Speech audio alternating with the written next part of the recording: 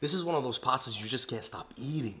I promise you that is incredible. In a decently hot pan, going with some chicken chorizo. When it starts to get nice and toasty, add in an onion. Introduce some fresh heartburn and just let this roll for a couple minutes. When it starts to smell like an Italian ass whooping, go in with some red vinegar. Scrape every single bit from the bottom. Heavy cream joins the party. When lightly bubbly, season her up. I like to parmesan until it feels right. Cherry, tomatoes, and basil make it healthy. And then last but not least, our al dente pasta goes in. And as always, na bismillah. I promise from start to finish it took about 15 minutes.